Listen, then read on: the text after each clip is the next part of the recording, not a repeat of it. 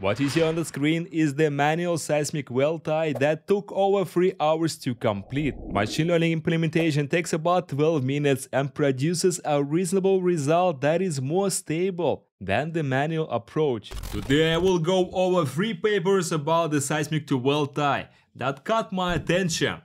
They show advanced quality and speed when compared with manual and analytical methods. What is interesting is that all of them try to tackle the problem from different angle, and that is why they are on the list. But first, a quick note from Geoplat. Geoplat AI is a commercial product that offers AI-powered geoscience software. It is essentially a machine learning toolbox giving you the tools you need to make better, faster decisions on your project. Within our R&D team, we're also working on Seismic to Well Tie, and we are planning to release these and other features to our users. If you want to be one of our users, then give it a try at the link below. My name is Ruslan and you're on a channel dedicated to teaching about machine learning in oil and gas. And the first paper that I want to cover today is titled Improve seismic well tie by integrating variable size window resampling with well tie net by Hao Wu and co-authors. Here are the results of the proposed method on a real dataset and a comparison with DTW.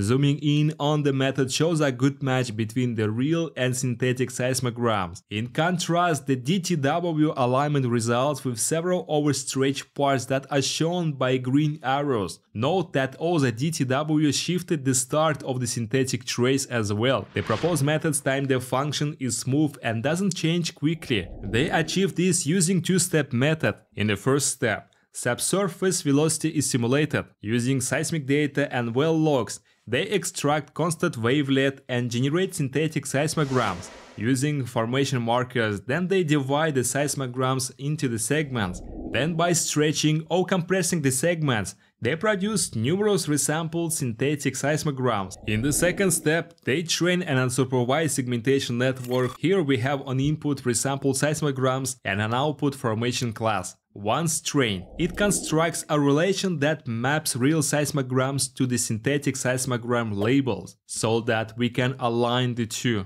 Let's see how the proposed method works on a real well from F3 block seismic data. Synthetic seismogram computed with the initial time depth function doesn't match a real seismogram. The alignment using the proposed method is very good. The DTW results differ significantly from the original synthetic seismogram. And as author stated, the suggested algorithm not only produces high correlation alignment results, but also prevents overstretching. And the most important part for me is that the method does not require the manual interpreted labels. It uses the resampled synthetic seismograms and the associated formation labels as the training dataset. If you like the content, then like this video so that it reaches more people. Here is the other paper that got many attention from the industry. The paper called Partial Automation of the Seismic to Well Tie with Deep Learning and Bayesian Optimization by Valentin Tschannen and co-authors.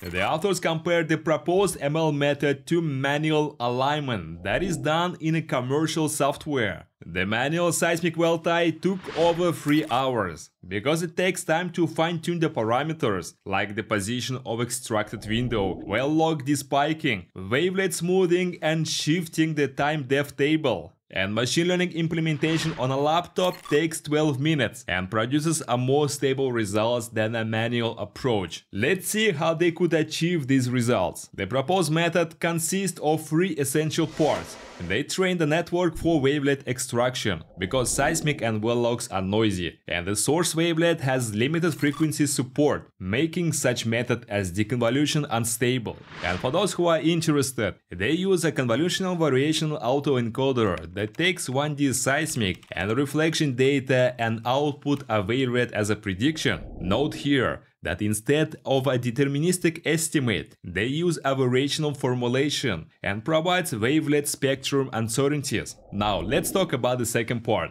The Bayesian optimization that finds the best parameters for seismic to well alignment. For method details see the paper. Following optimization algorithm, they define a simple 4-dimensional parameter space for the while loop. The first are the spiking window and threshold. The third parameter is the Gaussian smoothing kernel standard deviation. And the final one is the time to depth bulk shift. And here, the network computes the extracted wavelet. The optimization objective is to minimize the difference between the synthetic and real seismic. Note here, this process does not account for nonlinear shifting, it moves all the points on a constant value all at once. Stretch and squeeze method introduces nonlinearity in the time depth table, and here is the result. They demonstrate the method on two challenging real data applications, a Poseidon field well tie and a pre-stack well tie on Volve dataset. Here are results for the well Torosa. As we see, the optimized tie fits the predicted synthetic seismic and real trace better, and a wavelet has a more realistic phase. The overall compute time is about 3 minutes on a modern computer. They also showed encouraging result on pre-stack well tie on the Volve dataset in this paper. If you are interested in learning more about it, then refer to the paper. The source code for this work was also provided by the authors. They give you the tools to create synthetic dataset, train a wavelet extraction algorithm. Let me know in the comments if you think I should develop a UI and integrate this repo to eFramework so that you can use it on your project. And the last paper that I want to share with you here today, and it's the most recent one, the paper titled Unsupervised Learning for Automated Seismic Well Tie by Haibin Di and his co-authors. We can see the result of this method on the F3 dataset as well. Analytical alignment, the method produced a 60% coefficient, while the proposed method resulted in 87% match. Let's see how they manage this performance. The overall workflow is shown here, and it consists of three components. Data preparation for machine learning, training, and inference. Here they use data from well logs and convert them to time using check shots or VSP. Using the convolutional model they introduce random time shift curves and then synthesize the tweaked synthetic seismograms. Let's now take a look at the ML training. The generated seismograms are then used to train a 1D flow net, which learns from pairs of original and shifted seismograms and aim to estimate the time shift. Once trained, we should now follow the inference track. The synthetic seismogram from the original time depth function and the real seismic trace are fed into the network, which estimates the time shift required for the revising the time depth relation to achieve optimal alignment.